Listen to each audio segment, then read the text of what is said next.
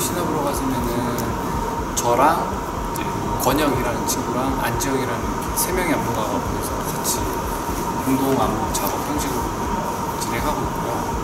그리고 이제 무용수들이 네 명 더. 이제 이학, 김소연, 그리고 김혜진, 강예슬 이렇게 네 친구가 더 있고요. 그 친구들이 이제 저희랑 같이 이제 계속 작업하면서 이제 같이 이제 여러 가지 작업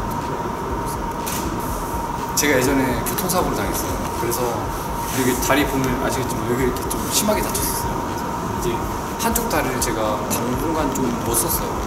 그러다가 다리가 고장이 나고 이제 그 상태로 계속 훈련을 하다 보니까 허리까지 디스크가 터져버린 거예요.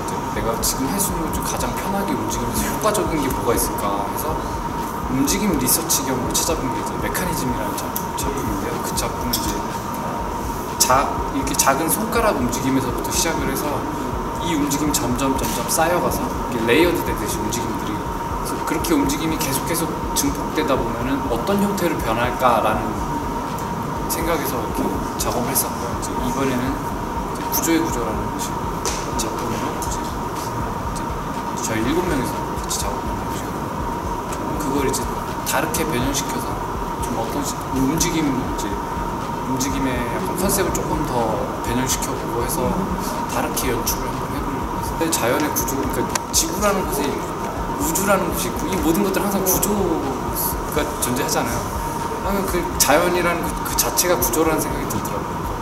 그러, 그래서 조금 더 자연스러움에 더 생각을 해보다 보니까 어, 최초의 우리가 알고 있는 최초의 생명체는 물에서부터 시작을 했잖아요. 수중에서부터 어떤 이제 생물들이 탄생이 됐고 그 생물들이 이제 지상으로 올라오면서 이렇게 우리가 우리 같은 이제 포유류들이 이렇게 사람이 됐고 이런 이런 과정들을 생각해봤어요. 그래서 그러다 보니까 이렇게 물 속에서 움직이는 움직임들이 되게 많이 영감이 됐어요.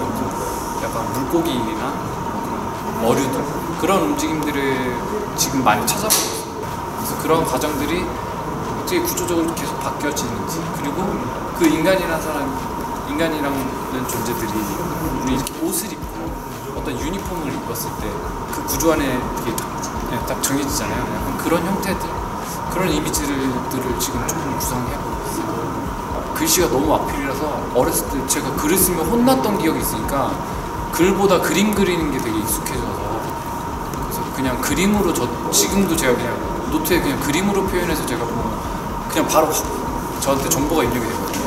근데 글을 써놓으면 제가 나중에 봐도 제가 모르겠더라고요. 네, 그래서 제 노트 보면은 글보다 그림이 더 많아요. 그래서 그 제가 편해서 저는 근데 또 항상 그 무용 무- 저는 무용이 갖고 있는 그 특수성이 있다고 생각을 해요. 그게 뭐냐면은 사실 우리는 대부분. 이게 되게 막 해석하려고 하고 분석하려고 하는 성향들이 있다고 생각을 해요. 근데 저 역시도 그래요. 저도 그렇지만 그걸 자꾸 좀 버려놓고 바버릇 하면은 모든 게 재밌더라고요, 사실. 무용이라는 거는 저는 이렇게 실체화된 그림을 보는 거라고 생각을 해요. 그래서 그런 식으로 보시면 조금 더 부담스럽지 않게, 그러니까 부담스럽지 않게